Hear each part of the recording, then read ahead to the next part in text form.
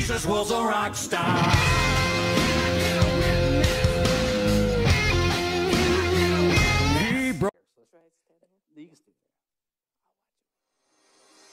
Are you looking to celebrate the resurrection of your Lord but having a hard time getting some of your friends and family to come with you?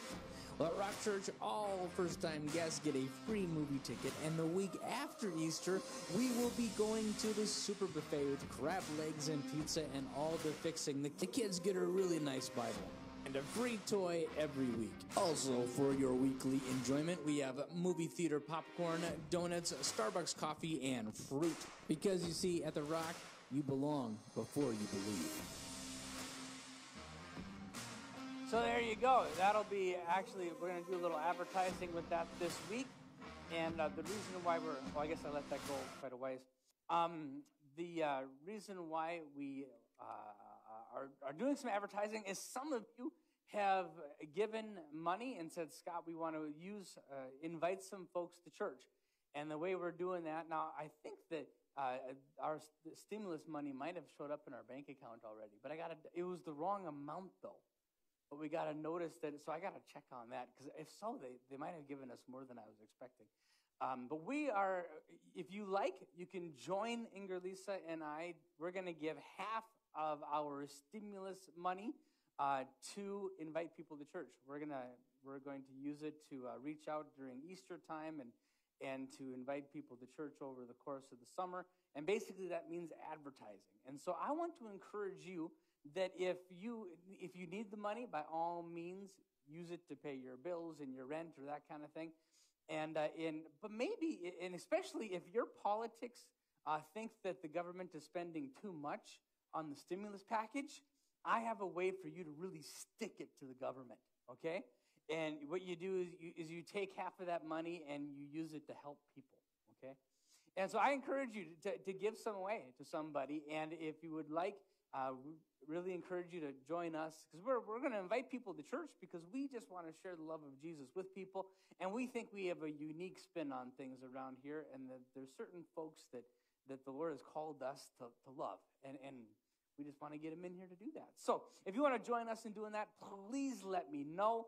And actually, the, uh, the budget that I had for the Easter um, uh, uh, advertising I'm doing this week. You might see some of our ads on, on especially uh, YouTube has been playing a little bit already and that kind of thing.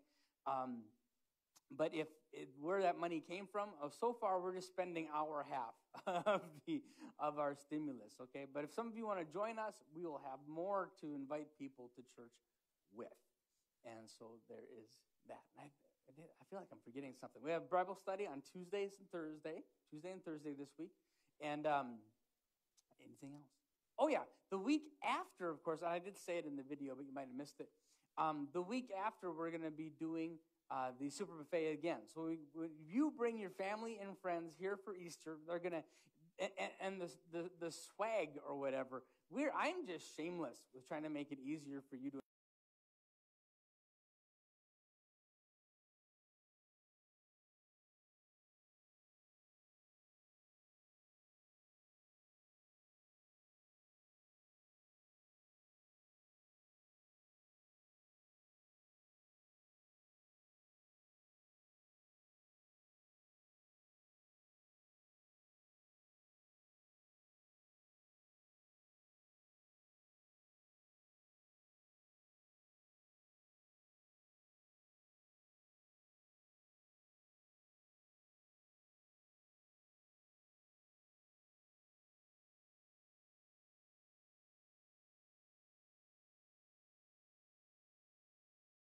Today, the name of the message is The Antidote for Racism. And I purposely made it a little bit provocative. I was hoping somebody might, you know, uh, want to check it out just for, just to, to see. But, um, but God's Word does have some things to, to say to us about racism. And of course, two weeks ago, we talked about Moses' wife, Zipporah, who was uh, Ethiopian or, or who was black. And uh, she was pretty cool. I won't tell the story now. I'd love to tell you to you again. You got to listen last week if you missed it. Um, but she was quite a woman. but God is so good, and He's called us to love people who are different than we are. This will be week seven This is the last week that we're going to be talking about the Good Samaritan. Um, but this is week seven of the Good Samaritan. And of course, the whole point of the Good Samaritan was Jesus telling us that God wants you to love people who are different than you are. The Samaritans were a looked down on people group. It was, it was about racism. They, they didn't like the Samaritan people because of who their mom and dad was. And, and God just has no time for that. Um, and, and, he's, he's pretty hard on it in the scripture. And, uh, and there's just no place for that.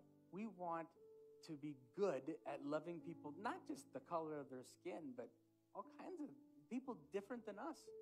We kind of like to hang out with our own you know, people who look like me, smell like me, like the things I like.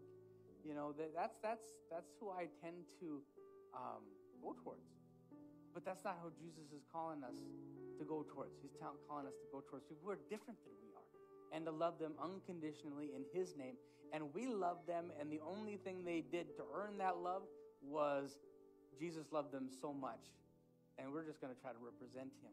And so, if you would, focus your heart and mind on the Lord and say, Jesus, help me to be what you want me to be, do what you want me to do, because people without you go to hell. Thank you, Lord.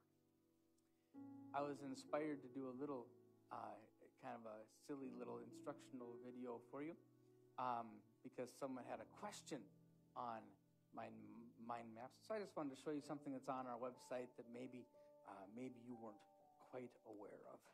Before we get going, I want to show you a resource that you have available to you on our website.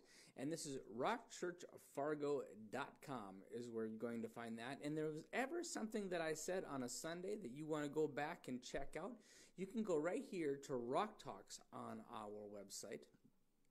And that'll bring you up to all of our past Rock Talks. And you can see all the past stuff that we've done for quite a long time.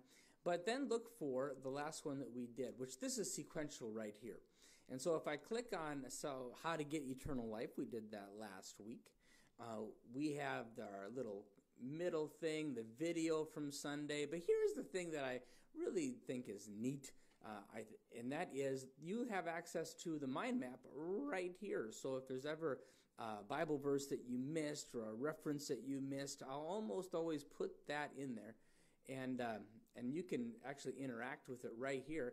And if you don't like the small page, and that would be totally understandable, uh, you can make it big and it'll bring you to mindmaster.com and you can look at it here. Now, if you ever wanted to subscribe to Mindmaster, you could copy and edit the map if you want. You could move it into your own notes, but you can see all the stuff that I that I did last week. We had the cage match, if you remember, between the Apostle Paul and the Apostle James. But what it really was is that faith without works is not faith, um, isn't faith. And so, five words to sum up the entire thing. Anyway, uh, so this is available to you anytime. Every week we put this out there. My, my good friend Marie helps me out with this, and she does such a great job. So, God bless you guys. So anyway, I I think it's really cool, but and it's and so if you can Maybe you don't. That's okay. Now I've just taken two minute and a half minutes of your time. But today we're talking about the antidote for racism. Of course, that QR code, if you want to follow along right now, hold up your phone to that QR code. You can do that if you want to. Um, the antidote of, for racism. And I think there is one. Now, we all have uh, the ability to look down on people that are not like us. And we, we all do it because we are all kind of the hero in our own story. I don't know about you, but when you read an epic novel or there's a hero, you see, you, you see kind of parts of yourself in that person, don't you? We all, we all want to be the, the, the hero and the good guy. And so therefore, we think since I'm good, right? And we all hope, think that we're good. I'm, I'm, I know my opinions are right, you know, because if you think, you know, if you think you're wrong, um, you're, that's not very smart, right? I mean, if you think you're wrong, you should change your mind. You know, I always say I always think that I'm I always think that I'm right, um, because if I think I'm wrong, then I'd change my mind and I'd be right again. Uh, and so I always think that I'm right because if I was wrong, I would change what I thought. Anyway, and so the uh, so, so we all have the we all have it in us to look at people different than us and say less than. You know, they're, they're stupid in these areas, they're this, they're that. That is in all of us. It doesn't matter where you're from, it doesn't matter who you are. We all carry that ability. And of course, Jesus wants us to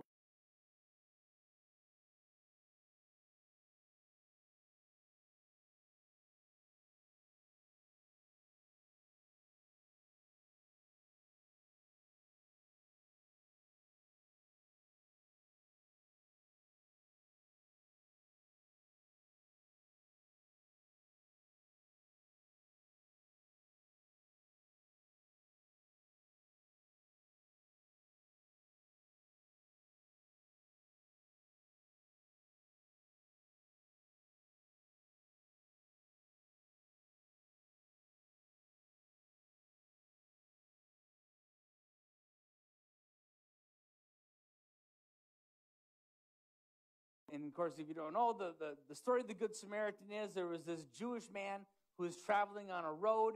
He was attacked by robbers. He was beaten terribly and left to die. And a priest came by. And the priest saw the guy, and the Bible says the priest went to the other side of the road and kind of just went right on by. After that, a Levite came by, a scribe who was involved in the temple and things. Well, He came by and he saw the, the Jewish guy laying there, and he's like, "Oh, dude, you know, maybe there's more robbers in the area. I, I don't want to have anything to do with that." So he goes to the other side of the road and he walks on by. And then we get to verse 33 in Luke chapter 10, and look at what Luke says. He says, "Then a despised Samaritan came along." Now, he didn't just say a, a, a despised Samaritan uh, came along and when he saw the man, he felt compassion for him. So, unlike the people who actually should have helped, the, the priests and the Levite, these are the guys who knew God.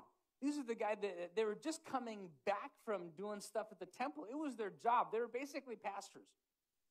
And they came by and they didn't stop. And this whole conversation that Jesus having with, with this, with, uh, it was actually a Jewish uh, lawyer that Jesus was telling this story. So Jesus only telling the story to one guy.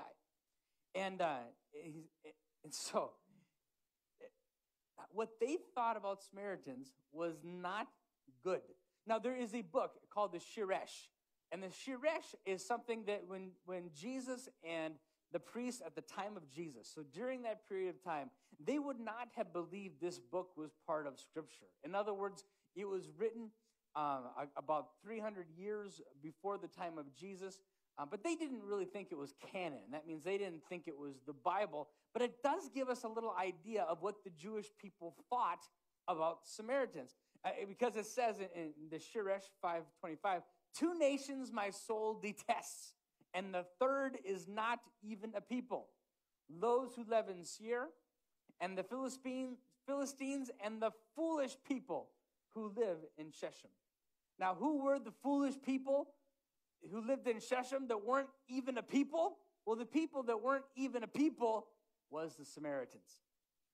Now, in, I live in Fargo, North Dakota. I'm 40 something years old, 47, I think. Um, 47 years old. I grew up in the 80s, and there was hardly a black person in Fargo uh, at that time. Actually, I had one uh, one classmate who's actually a year or two older than I was in my entire high school that was that was black. So we just and and her, I, as far as I could tell, she interacted with with everybody the same. I mean, I I couldn't sense any different. And it was there was only one of them, and, and she was just one of the people. So I I did not grow up uh, in and amongst a, a, lot of different kinds of people. To be totally honest with you, uh, you know, German, Norwegian. Once in a while, you had a Swede. You know, um, there just there just wasn't a whole lot of variety, and Ufta, exactly. And uh, and so there, there really wasn't a, lot of a lot of um, a lot of difference. And so, but then of course, our community has become a, a lot more um, diverse. And, and, I have, you know, um, I have a good friend who's, who's black who actually someday he's going to come and he's going to preach to you, uh, named Ron.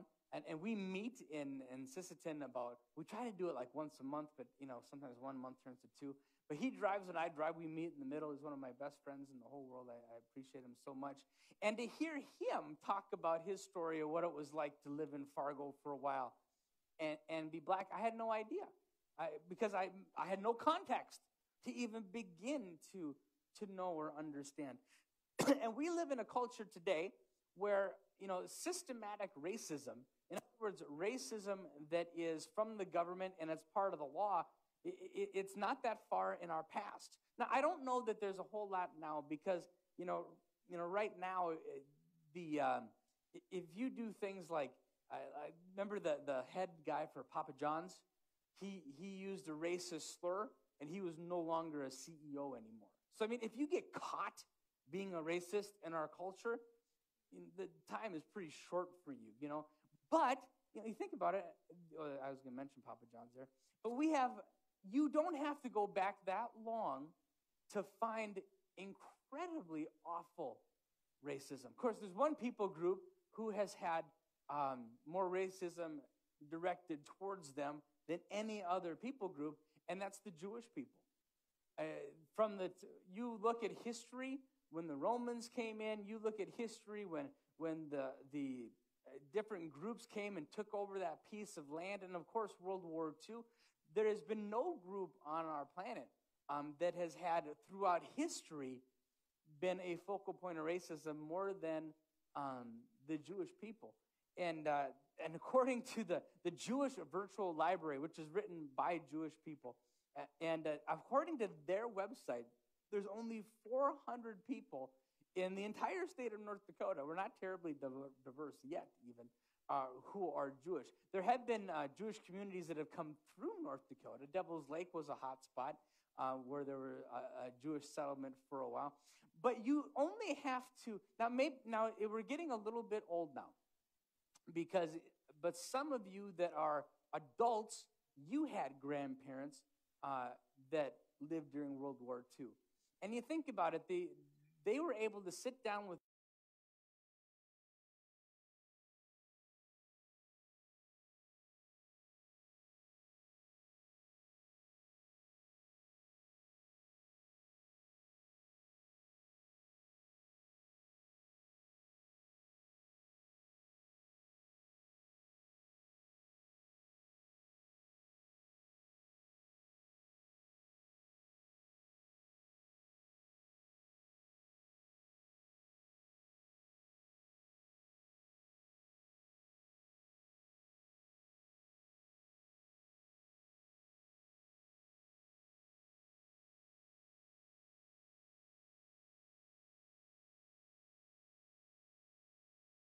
They know what it's like to have a systematic, uh, real racism for no, no other reason that, but the color of their skin and who your, your mom and dad were. And, and is there still racism in the world today? Well, absolutely. But at least we don't have the, the from the government down systematic racism that comes down. And of course, um, African Americans, which actually I was reading up on this a little bit lately. And uh, apparently that term offends some people sometimes, since you're supposed to say um, black American. But so it's hard to know what to, to keep it straight. But Martin Luther King, heroes in our country that stood up and said, No, you can't, you can't treat me like that. You can't make me sit on the back of the bus. And it's only, it was in the 60s, 50 years ago. Some of you were around when all of this was going on. So there, uh, so you, so it's easy for me. Okay, I, I, say all that to say this: it's easy for me, Scott, who was grew up in North Dakota, They had one black person in their entire school they hardly knew. Now, my best friend in, in school was Filipino. I didn't even really hardly knew he was Filipino because we had so few ethnic people um, that I didn't even think of him that way. Uh, but it was you know but almost it was so it was so white that when there was a minority you hardly even noticed. They were just kind of part of the group because it was you just didn't even know. But so for me to sit down with my my friend ron and to have him tell me stories that his mom told him about what it was like growing up during the civil rights movement. Or or to sit down with native americans and hear what it, what it was like when they i have no point of view to even know. And I want to uh, say to you today, I think that our culture has a problem with labels. I think our culture has a problem with labels. My name is Inigo Montoya. You killed my And, and- and the labels are bad in two ways. When I see somebody, uh, when I see somebody, I immediately make judgments about them. Now you do too. You, you, just do. If they hold themselves a certain way, if they, if they, it might be the color of their skin, but it might be the clothes that they're wearing. It might be the car that they drive. Someone walks in the room and you make a few assumptions because all you have to go on to know anything about that person is what they look like. and so we put labels on. Well, that's really bad because the problem is, is, is that you don't know anything about them because of your label. And I want to try to convince you today that you don't know them from the label they put on themselves. Because I don't know all the lingo, and the lingo changes. You, you don't know what, what the, the new lingo is. Uh, Elizabeth uh, was came to me. We were driving home from school, and she said, "Dad, can you believe there was somebody in our school? They wore a Black Lives Matter face mask to school today." And she and and she thought, and I don't know what that put in her head, but you know, you say Black Lives Matter. Um, some of you will think of, well, that is people who are standing up for people who are, have been pushed down in our culture for years and years and years. Others of you would immediately associate the people that rioted and looted and, and, and burned things and, and that kind of thing. And so that label means incredibly different things to different people. So I told Elizabeth, I said, well, when, when that person wore that, what you should ask them is, what does that mask mean to you? Because you know what my hunch is? My hunch is, is that when, if Elizabeth asked that fifth grader, what's that mask, that, that BLM that you're wearing on your face, what does that mean to you? I don't think that person would have said, well, because I am for vandalizing the Lincoln Memorial. I don't think that's what they would have said. I don't think they would have said, I'm for, I, I, am for extreme socialism. I'm a communist. I don't think that, you know, some of you, that's what you think of. And I just want to encourage you, we, even when someone's on TV and they say, this is who I am, you know, Black, you know, Black Lives Matter, we, you make all kinds of assumptions that probably aren't even true. And so there's a problem with labels. When I look at you and I put a label on you because of something that I see or something that I know about you, it, it, it, it's broken. It's not Christ like. And I'm going to give you a better way today. But it's also, I think our culture has a problem with labels because people put labels on themselves. And number one, not everybody knows the definitions all the time. And, and, and number two, that it's, it's they then their identity is and their labels are really important to them. Um, and so now I, I, I, can get away from race a little bit. I can put labels on you based on your religion. Uh, this is maybe a little safer than, than, some of the other things. I because I, there's certain things I know about you because of where you tell me you go to church. Okay, you tell me, hey, I go to this or that church, and I'm not going to say any names of churches or denominations because I don't want to. Uh, and you'll see why in a minute. Um, but what I know about you based on where you go to church, well, uh, women are worth less than men. And they wouldn't say it that way. However, in their church, uh, if you are a woman or a man, have exactly the same job, because I was very, I was close to a guy who was married. His wife was working at a church, and she replaced the pastor, and she got paid half as much. She had just as much education, but it was because she wasn't allowed to be a minister.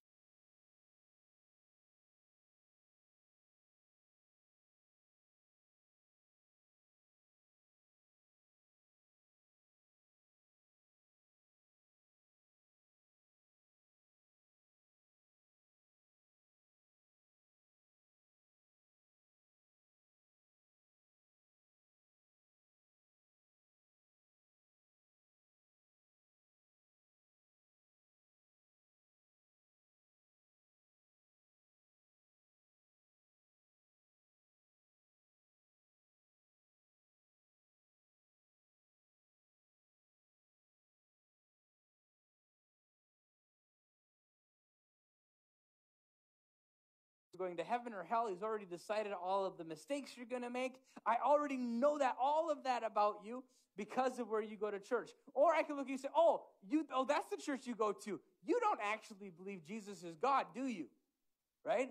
I can make that assumption. The problem with all of these assumptions, And I know, and, and, and I know that because I, I, I'm, I've been a pastor almost 25 years now. I've studied all the world religions. I've studied all the denominations, all those things. The problem is when I meet somebody and they say to me, I go to this church, I don't know any of those things. I don't know any of them. I know what their I know what their doctrine teaches. I know what some in their church um, believe, but I have no idea what that person believes, including pastors. Including pastors. I have, I have some wonderful pastor friends who go to different kinds of churches that I know don't look at me that way or, or, or don't, you know, believe some of those extreme things. I know that. Why? But how do I know it? See, the labor, the labels, they're, they're really important to people, but they're not helpful because just because they say, I go to this church, you can't assume anything about them. So I'm going to teach you a question. I'm going to teach you a question if there's somebody who's a different race than you. I'm going to teach you a question for somebody who is a different uh, religion than you or church than you. they come up to you and they say, uh, uh, you say, well, uh, where do you go to church? Well, I go to Rock Church. Well, they are a bunch of weirdos at Rock Church. Uh, I go to Rock Church.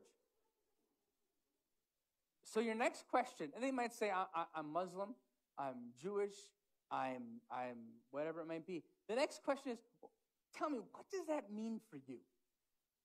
You know what you'll see on a lot of people's face when you say, they'll say, I go to this or that church. And you say, well, what does that mean for you? And they'll say, um, uh, uh, uh, never thought of it before.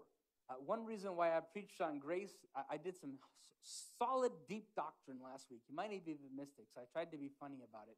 Um, because I want you to know what you believe and why. But they say, well, I don't know. My mom and dad were, and their mom and dad before them were. Therefore, I'm this kind of, I'm this kind of Christian or whatever. Um, they, they don't know. Or else they might say, they might articulate a, a position and a belief system that isn't any of those things. Or it, those things might be true, and they might believe that, but you start a conversation, and you someone says, well, I am, uh, you know, I, I, I, you know, I'm black. I said to my friend Ron, Ron, tell me what it meant for you in Fargo to be black. And he told me, and, and I, and I learned, and I grew because I, I see all of these people, all of the, they have lived a life that you haven't lived. They have a perspective that is completely different. Now you, you sitting in, you know, in, in Fargo, North Dakota, you can get all high and mighty, but you didn't sit on your grandma's knee and hear about what it was like to be taken from your family and put in a reform school and, and have your name forcibly changed. You, you didn't sit on your grandma's knee and hear about that. And so humility and to come and say, what does that mean to you? So, but labels are, are important to people. And, and people say, this is who I am. And they will put up a label. And, and sometimes those labels will have to do with their sexuality. Sometimes those labels will have to do with their race. Sometimes those labels will have to do with their level of education. the labels that they choose for themselves, I want to encourage you. Oh, by the way, you kids, you're totally welcome to stay in here. Um, but we do have a kids' church if you want to. So, but you can stay in here too. Your kids are so good.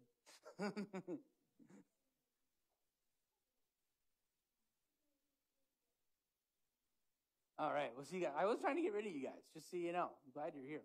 I just thought you might enjoy them better than me. That's, that's all. Pied Piper Crystal there. That's awesome. Thank you, Crystal.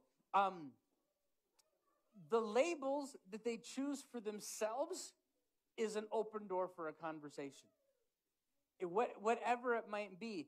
Uh, but I want to, whatever they say, don't take their label and walk away. Take their label and say, Can you tell me what that is like? Can you tell me what that means to you? I've learned that people love to explain their labels. They love to explain their labels because people on a basic level, they want to be understood. They want to be known. And so if you can get them telling their story, it, you can become better because you're going to learn a perspective that you never had before. Everyone wants to be understood and found worthy of love. And now, when someone meets me as a pastor, sometimes they assume that I'm going to judge something in their life, whatever it might be. And, and so they'll come and they'll share with me that thing. And, and sometimes they'll be a little aggressive about it too. And they'll just they'll shove it at me because, because they're like, Am I going to offend you? And they'll throw it at me. And I, I tell you, it is incredible grace when I take when I decide to be humble and say, Wow, tell me what that means for you. What was what was it like? And it's amazing. Even when they are so different from me, even when their lives sometimes it, it, it can be far away from what God had said to do, but they'll begin to talk and share. But you, and you know what I do? Well, I tell you what I don't do. I don't look down my nose at them. I don't say hurtful and and and, and judgmental things. Um, but I love them. Again, that word.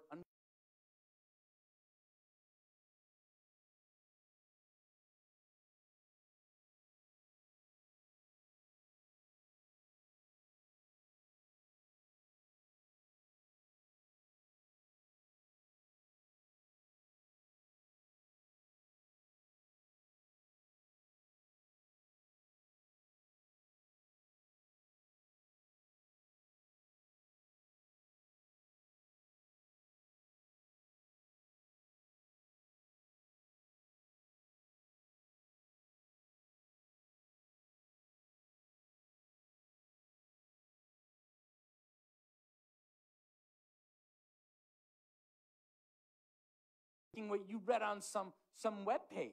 I'm here to tell you that that's probably not true. And so you need to have humility and know that you don't know. So, humility and then love, unconditional love, the kind of love that says you can be different than me and I can love you. You don't have to earn it, you don't have to get there. I love you because my Jesus loves you, and I get to love him by loving you. In other words, when I show love towards you, it's like I'm loving him. That's what the Bible tells me. Isn't that amazing? So even if that person, some, I'm here, not everybody is super pleasant. Even if they're unpleasant, I can love that person. And it's like I'm loving Jesus. What an act of worship that is. I think that's his favorite act of worship, actually. And then a hyper curiosity. If you go, if, if they say, this is who I am and it's different than you, and you say, and you're humble, and because if you're not humble, it'll, it'll come out. You know, it'll they'll smell it, and then it's not going to be good. Um, but then be be curious because ultimately people want to be known. They want to be known, and because they want to be known and then loved. Because once they, because there's some things about me, if I told you about it, um, I would be scared that you're going to reject me. I would have in my head that if you knew the real me, you would not like me. And I think we all feel like that. I only live in my own head, but I think we all feel like that sometimes that if you really knew me, you would probably reject me. So it's a powerful moment uh, when someone is with you and they think you're going to reject them, and then they share something and you don't reject them. You love them. That's a powerful moment and a healthy moment. So humility, love, and curiosity. And just learn. And, and let them, and if you disagree with something they, they said, just remember your humility part. Keep your mouth shut. It's not your job to change them. It's not your job to change their mind. Uh, if it, it's God's job, if it's anybody's job, right? And hopefully uh, uh, that, that you'll see Jesus in me and you'll read his word and you will, you'll become more like Jesus. I can guarantee you that I, if you've been hanging around here, I, I don't, I call sin sin, you know, I mean, I, so we don't, sure, I, we believe the Bible. And so love and curiosity. People feel loved when they feel understood and they feel understood when they feel heard. So just get them talking and, and learn from them. Now, humility. Um, my perspective is not the only perspective. And I, I, and I always think that I'm right, but I don't think I'm always right. Does that make sense?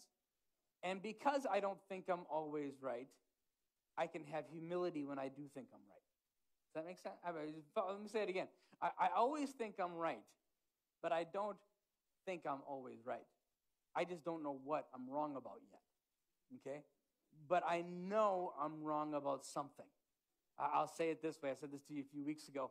Um, when I get to heaven and I see Jesus and, and we hug and I'm so happy to see him, I don't think that Jesus is going to say, Scott, I got to tell you something, man. Of all of the pastors for 2,000 years since I rose from the dead, of all of those pastors, of all of the theologians, Scott, you believed all the right stuff about me. You understood the Bible perfectly. You're that one guy that, that, that got it all right. I don't think, I think that I'm going to get to heaven and I'm going to be like, oh, really? That's not how it was? Okay.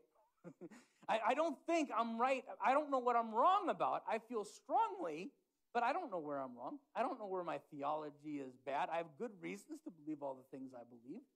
So I always think I'm right. And I can be confident in what I think is right.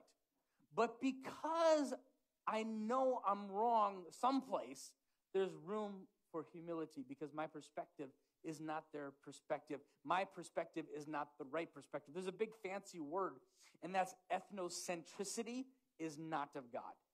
Now, this is a big deal in the mission world. Uh, if you were, were, to go on the mission field in the 50s and 60s, uh, you would go to Africa and you, you could go a place, and the missionaries have been there a while, and they're dressed like Americans. They're singing English hymns, and they, they built a church that is looks like the American church. Now missions has grown. And there's a big movement in missions right now that says, hey, our business is Jesus. Our business is not changing their culture. I think that some uh, gladly have learned something from the terrible things that were done to the Native Americans. I, think, I think it's good to give people Jesus. But they also said your culture is evil. And that was wrong. And that was not of God. And so, it's, uh, uh, so ethno, ethnocentricity is not of God. Now, and then finally, unconditional love. No one has to love, has to earn our love because they are loved by God, and therefore God calls us to love them. And so there is no pre-existing conditions to somebody having getting love from us. We can love people right away and not feel bad about it. And if we don't love people right away, well, let me tell you, love is not a, it is not a, a uh, it is not a, um, a feeling. It's something that you do. It's an action. You show love by what you do, not what you think inside your head. The love that you do that you're just having your own imagination, that doesn't do anybody any good. And if you don't feel loving, that's okay. You can still love people. How you do it by treating them with love, with respect, and well. That they will, when they leave the conversation, they should feel better about themselves than they did before. That's how they should feel. And then finally, curiosity. It's the only way to understand somebody, and the only way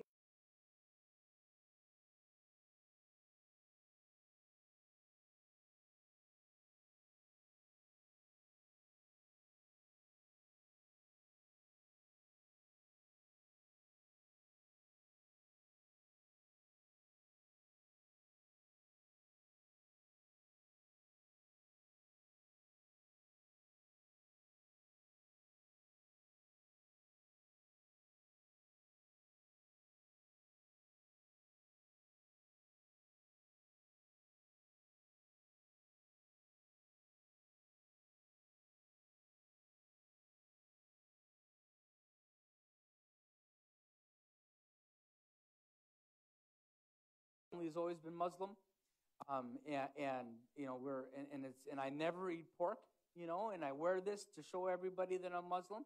And then I said, well, tell me. Now I know because I read about it once in a, in a textbook because I've been you know studying this stuff for a while. I know that he's supposed to think that Jesus is not God, but that he is a prophet.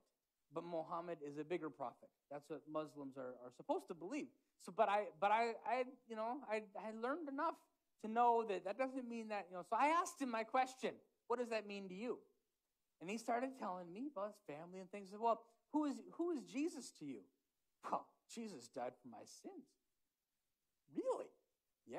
Oh, yeah, Jesus. He, and then he says, uh, and I said, well, so, so do you believe that Jesus rose from the dead? Well, yeah. He says, guys, I'm telling you, he articulated, he articulated an evangelical Christian theology. He had all, he believed that Jesus was God. He believed that Jesus rose from the dead. He believed that Jesus was the way, the truth, the life, and the only way to get to God. But his label was Muslim. And I learned something really important that day.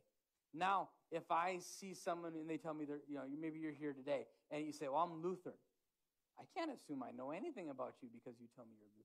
Methodist, Catholic. I cannot assume that I know about you because I read what your church believes in a book someplace. I can't do that. So I'm Catholic. What does that mean to you?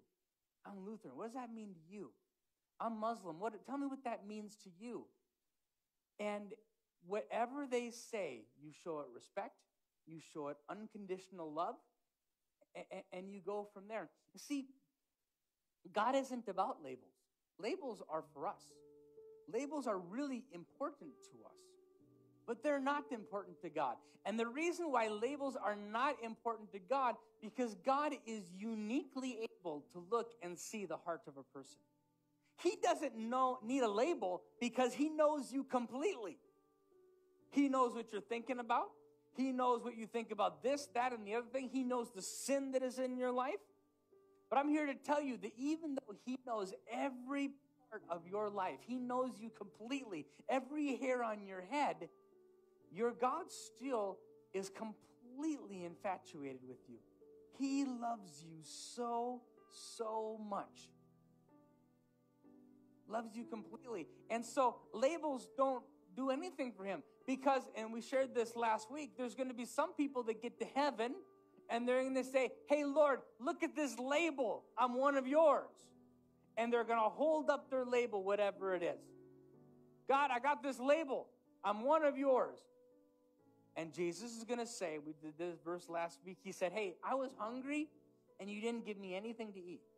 I was thirsty. You didn't give me anything to drink. I was sick and you didn't come to visit me. I was in prison and you wouldn't come see me. I was naked and you didn't clothe me. And then there would be, well, wait a minute, Lord, here's my label. I, I'm this brand of Christian. I'm this kind of person. I, I, I'm this, I'm that, I'm whatever. This is my label. And he said, I didn't know you. And then Jesus says, Get away from me. I never knew you. Get out. So there's going to be people that go to heaven and they're going to hold up their labels and God's going to say, No. See, the labels aren't worth anything to him. I don't know that labels are very healthy. They're necessary, you know. Um, we label, I mean, they're, they're necessary, but I am telling you, Rock Church, that they're not enough. We got to get past the labels with who we are in Christ for ourselves so that when we get to heaven, we say, Lord, hey, I fed, I clothed Jesus, I, I, and he's going to know you because you are truly his disciple. But if you just put a label up and think, hey, Lord, look at my label, I'm good, it doesn't work that way. Some people are going to hold up a label and they're not going to get into heaven because your label actually doesn't matter to God. It's what you do and it's what's in your heart. It's what's in your heart and what that causes you to do. See, vocabulary right from last week, right? It's what, it's what you believe about God and how that's poured out in your life. So the antidote to racism is to get past the label with curiosity and love. And that question, what does that mean to you? Doesn't matter what religion they are, what color they are. Learn what it was like to be somebody else.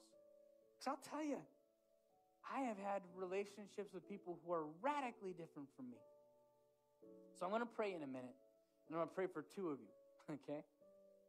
The first person I want to pray for, if you're here today and there's a chance that the label that you put on yourself isn't telling the whole truth. In other words, you would say, I am this kind of Christian, or I grew up this way, but you have no relationship with God.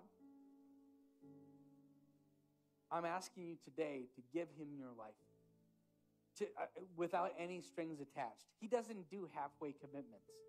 He's not interested in half of your heart. He wants you to be his completely. When him, uh, when you and him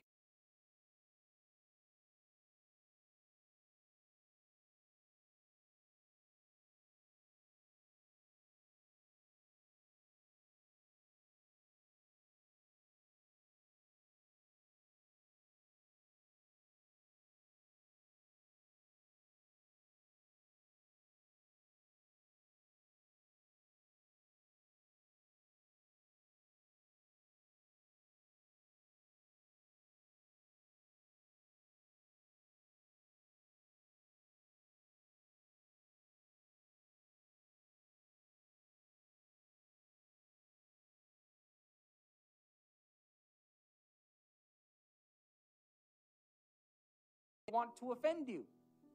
That they, they'll come at me as a pastor and they'll throw it in my face and they'll, they're, they're trying. But why are they trying to offend you? It's because, well, if I reject you before you have the chance to reject me, I like that better. So they're just looking to get offended. Don't let them. Unconditional love. Let us, Jesus, be a people who get past the labels and say, what does that mean to you? And because you know what's going to happen after they tell your, their story and, and you love them unconditionally? Eventually, they're going to wonder, who is this person? And you're going to get to share your story. Let them share theirs first as long as they want. Just be just hyper curious. But at some point in the relationship, there's going to come a time when you're going to get to tell them about a Jesus who has changed everything in your life. And that's an awesome moment. That's when the Holy Spirit can do amazing things. See, you'll never convince them. You can't argue with somebody and get them to come to Jesus. You can't change somebody by telling them all the stuff that's bad. But you know what does work is loving unconditionally, letting the light of Jesus shine, and then at the right moment, you just share what Jesus has done for you. And he's able to do the rest. He's so good at that. He's better at it than you are. He's better at convicting sin than you are at making people feel bad about their sin. He's just better at it. So I'm praying for those two kinds of people. God, I, I, I give you my life today. All that I am, everything I ever will be. Jesus, I just lay it at your feet. I don't want to be that prideful jerk um, that thinks he's right about everything. I don't want to come across as thinking that I know them just because of the color of their skin or where they're from or, or who their family was or what religion they're a part of. God, I pray that we would be a people that would be so curious and Lord, I, I repent of all of those times, Lord, that I made assumptions about other people before I even gave them a chance. So, Jesus, I pray that you would forgive me for every time I have put a label on somebody and thought I knew something that I didn't. And so, Lord, I lay that down along with all my other sin. And I thank you, God, that we can be forgiven. We sang about it today. Even when I don't deserve it, you forgave me. And so, Lord, I lay that at your feet and I call it sin. When I judge somebody and I put myself above them, I name it sin and I put at your feet and I ask you to forgive me, Jesus. But Lord, I pray that you would make us really good at loving people. Because I know that that's the kind of worship that you want the most. I know by what you chose to talk about, I know by what you uh, how you treated people. I just know that about you, Jesus. That the best way that I can make you smile is by loving somebody in your name. When I can say to somebody, I love you, and there's no conditions to it, it's because my Jesus loves you, and He's God. And if He loves you, you must be worthy of love. Help that be our attitude, God. The people get to they get to start there. In Jesus' name. Thank you.